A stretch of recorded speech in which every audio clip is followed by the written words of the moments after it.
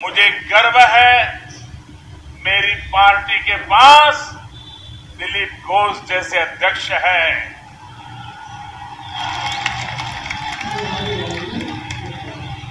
आज पार्टी को जिताने के लिए पिछले कई वर्षों से दिलीप घोष न चैन की नींद सोए हैं न दीदी की धमकियों से डरे हैं। उन पर अनेक हमले हुए। उनको मौत के घाट उतारने की कोशिशें हुई। लेकिन वह बंगाल के उज्जवल भविष्य का प्रण लेकर के चल पड़े और आज पूरे बंगाल में नई ऊर्जा भर रहे हैं। और इसलिए मैं कह रहा हूँ कि इस बार बीजेपी सरकार। पचास पचपन मिनट के लिए व्हाट्सएप डाउन हो गया फेसबुक डाउन हो गया इंस्टाग्राम डाउन हो गया, लोग अधीर हो गए, चिंता में पड़ गए, सबके मन में सवाल खड़े हो गए। पचास पचपन मिनट के लिए हुआ था। लेकिन सबको हो रहा था क्या हो गया?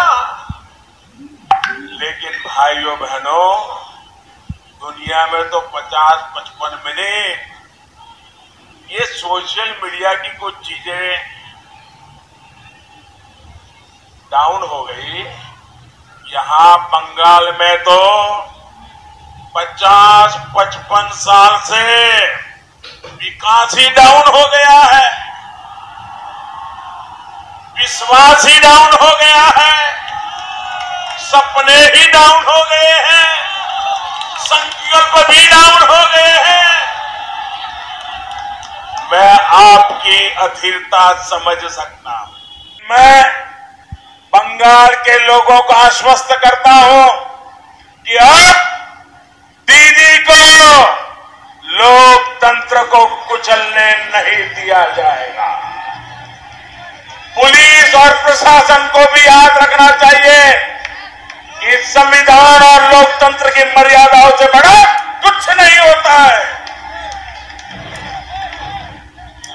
आगे निर्वाचन गुलीते टीएमसी जा कर तो ए बार हो बेड़ा।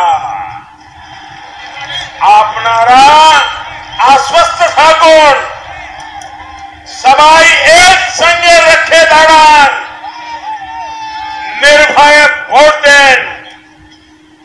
पश्चिम बंगाल एती फिरिए अनार जन्यो अमरा बद परिकार।